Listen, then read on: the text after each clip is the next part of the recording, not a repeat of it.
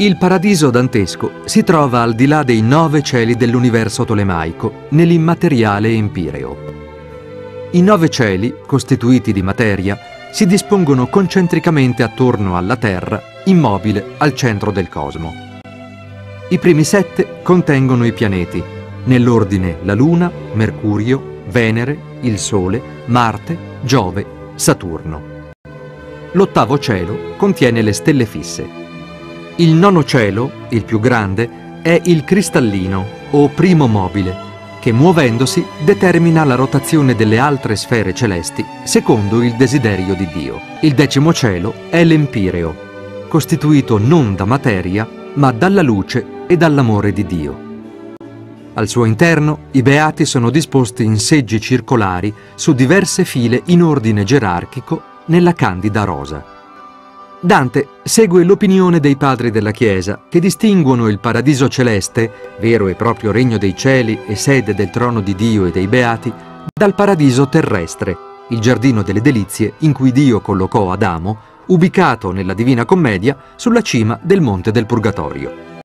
Partendo dalle terre emerse, che si trovano nell'emisfero settentrionale, l'Empireo viene raggiunto con un percorso verticale che scende verso il basso fino al centro della Terra, procede agli antipodi nel Purgatorio e, spiccando il volo, attraversa i cieli.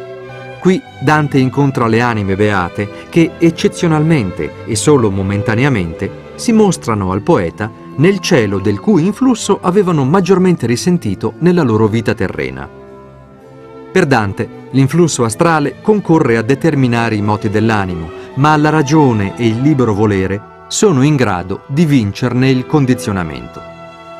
Nel viaggio attraverso le sfere celesti, Dante ripercorre anche un ordine morale e intellettuale. Ogni cielo e ogni grado di beatitudine è collegato all'esercizio di una delle virtù cardinali. Nei primi tre cieli troviamo la temperanza, poi la prudenza, la fortezza, la giustizia e infine l'esercizio della contemplazione.